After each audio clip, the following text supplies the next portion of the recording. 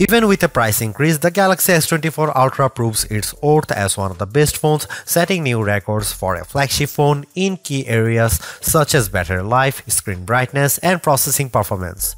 Add to that the slew of helpful Galaxy AI features packaged with the phone, and it's a powerhouse that will actually save you on time.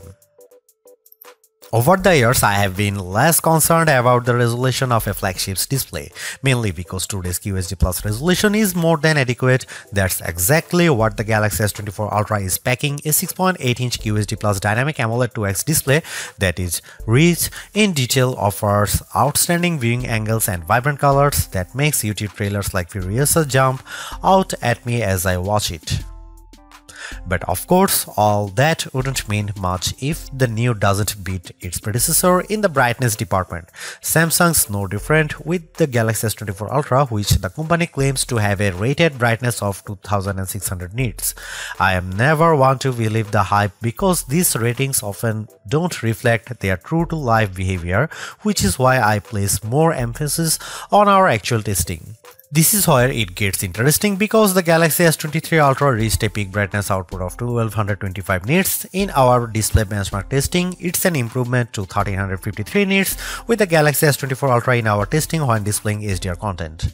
That's fantastic and I didn't have any issue watching YouTube clips or playing my mobile games outside with direct sunlight beating down on me. Samsung kept the S24 Ultra's display refresh rate to 1 to 120Hz, which is what I expect from a flagship today. Still, Samsung missed an opportunity to increase that refresh rate to perhaps 144Hz to further differentiate itself. Without question, the biggest controversy circling the Galaxy S24 Ultra centers around Samsung's decision to ditch the 10x optical zoom camera of the S23 Ultra for a 5x optical one. That one key spec will cause people to think the new camera setup is technically inferior, but bear in mind that Samsung trades in the optical range for a higher resolution sensor, a 50 megapixel sensor instead of a 10 megapixel one to be specific. The Galaxy S24 Ultra remains a formidable camera phone consisting of a main 200 megapixel camera boosting 60% larger pixels, a 12 megapixel ultra wide camera, a 10 megapixel telephoto lens with a 3x optical zoom, and that new 50 megapixel telephoto camera with a 5x optical zoom we mentioned above. That camera can still offer 10x zooms by taking a picture and then zooming in as the resolution drops to 12 megapixels. Samsung says that this approach on the S24 Ultra can deliver the same optical quality performance as its predecessor, which doesn't surprise me. We have seen this executed on other phones with excellent zooming results like iPhone 15's 2x telephoto zoom. Before I detail the new telephoto camera and whether Samsung made the wrong decision, I will explain how this phone other cameras perform under different situations along with side-by-side -side comparisons against the S23 Ultra and iPhone 15 Pro Max.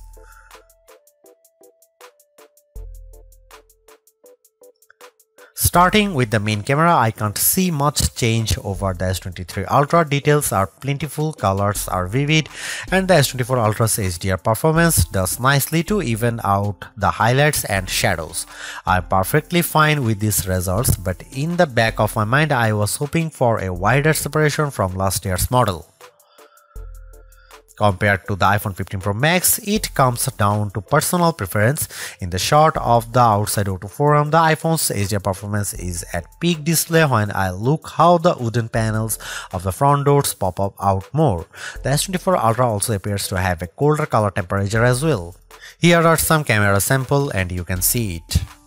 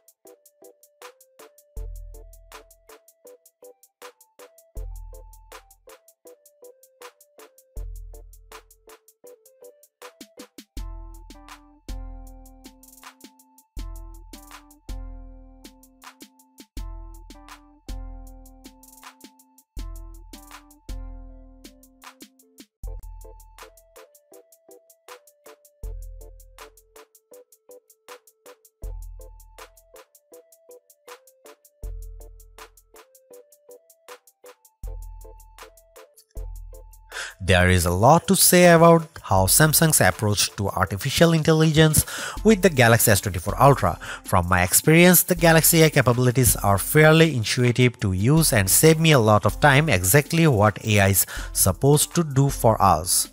Features such as circle to search, generative edit, instant slow-mo and note assist all feel polished, while others such as live translate could benefit from more machine learning. Regardless, the Galaxy S24 Ultra proves that AI is here for the long haul. Yet I am a little disappointed that the Galaxy S24 Ultra camera performance doesn't have the same dramatic improvement I have seen from past updates.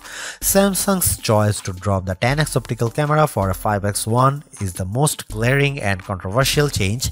A downgrade I hope doesn't happen ever again. But despite this, the S24 Ultra has marked improvements to its processing power and battery life, two key areas I look at with any phone. The Galaxy S24 Ultra is not just a better, it sets the benchmark for all other phone releases in 2024. Knowing that the increase in price to 1299 US dollar does complicate matters a bit, given that I feel the majority of its AI features are practical, combined with its performance and battery gains, it's still worth getting the Galaxy S24 Ultra if you are in the market for a super phone or upgrading from a handset that's a few years older. Thanks for watching, see you in the next one.